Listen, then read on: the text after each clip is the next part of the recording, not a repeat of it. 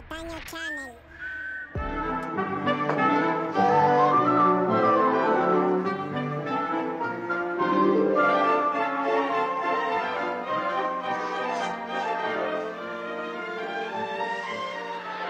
Bien, se terminó la hora del examen. ¿No nos puede dar otro ratito? No. Sí. Tenían una hora para responder.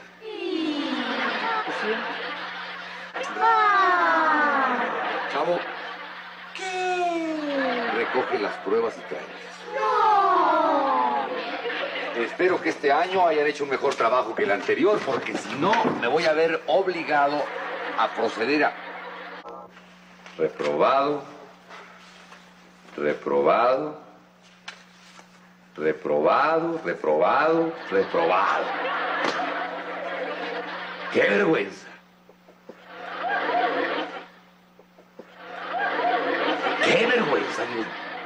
Todos reprobados, todos reprobados. Por culpa suya.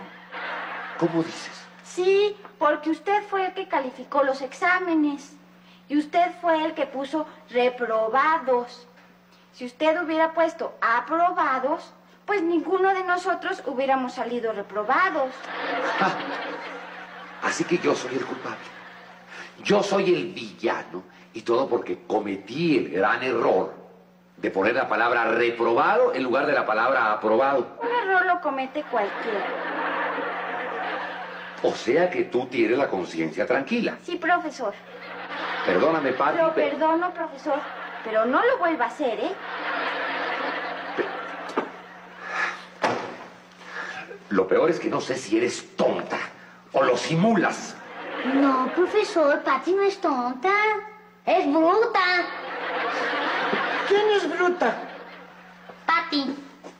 Que me estás cayendo gorda, chilindrina. ¿Por qué le andas diciendo a todo mundo que Patty es bruta? Porque no me pidió que le guardara el secreto. ¿O sí? No me acuerdo. Pero tú también reprobaste, Chilindrina. Sí, pero yo porque no estudiaba. Pero tú nada más por bruta. Bueno, pues tú por floja y Patty por bruta, pero el resultado es el mismo. ¿Y tú, Popis? Del equipo de Patty. Dios mío.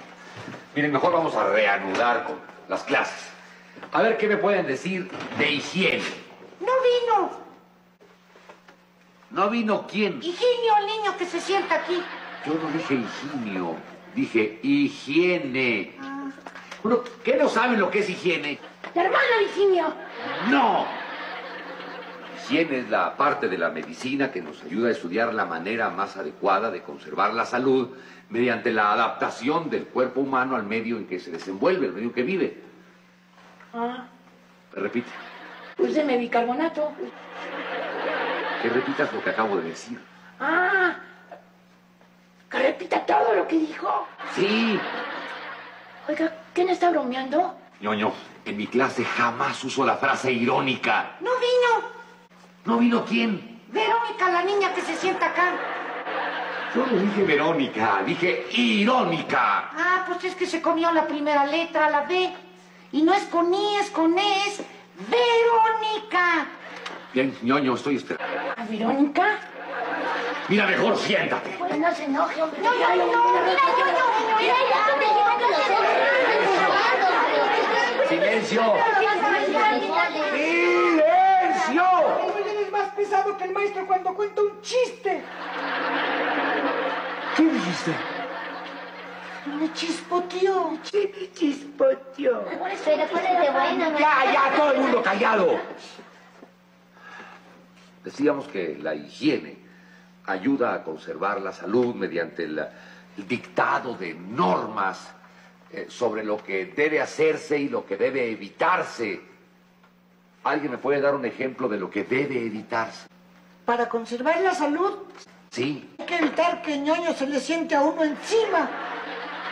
Sí, míralo, míralo, míralo, míralo. La salud.